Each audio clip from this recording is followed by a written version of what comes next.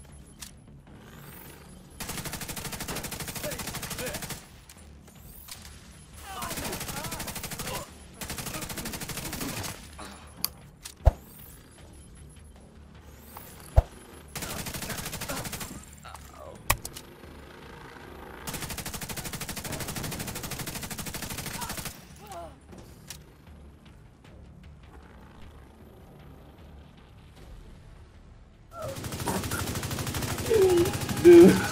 Maybe his striker don't work. No, the rate of fire. Ah, okay. Ah, What what M1A? the classic M1A. Cause I'm running a MP5 and my secondary is a is the M18 for like long range. Gotcha. So with the the, the handling, the 50% handling, and the 15% rate of fire, that shit is like a semi-automatic, bro.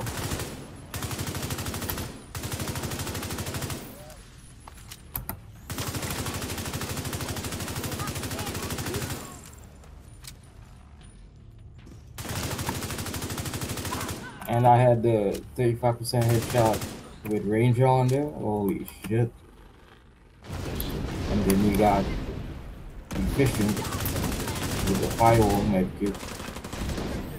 And you, you You got old striker back. huh? You got the old striker back, huh? Yeah.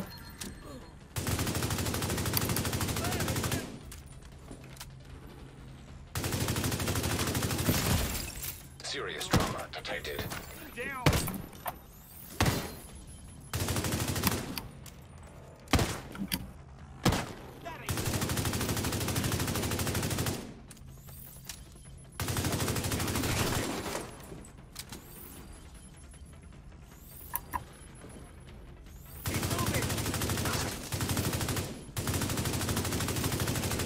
Okay, y'all, I made a build months ago called the Unrelenting. It was a very strong survival build with the capability to endure so much in a fight.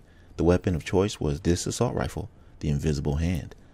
I am a longtime fan of this gun, and the reason I suggest that you try and get this weapon is for two reasons. One, naturally, its archetype is one that normally has a slower fire rate, so by default it hits harder.